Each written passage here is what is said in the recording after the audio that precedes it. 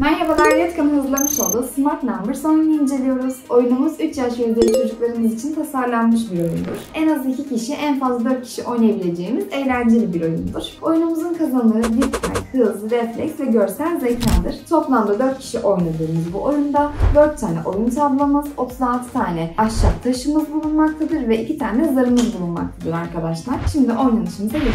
Evet arkadaşlar, oyun tablomuzu bu şekilde yerleştiriyoruz. 36 tane taşımızı önümüze bu şekilde koyduk. 2 tane zarımız vardı. Zarlarımızı çalkalıyoruz. Attık. Kırmızı 3 ve mavi 1 olan taşı bulmamız lazım. Buldum. Hemen aldım oyun tabloma yerleştirdim. Tekrardan atıyorum taşımı.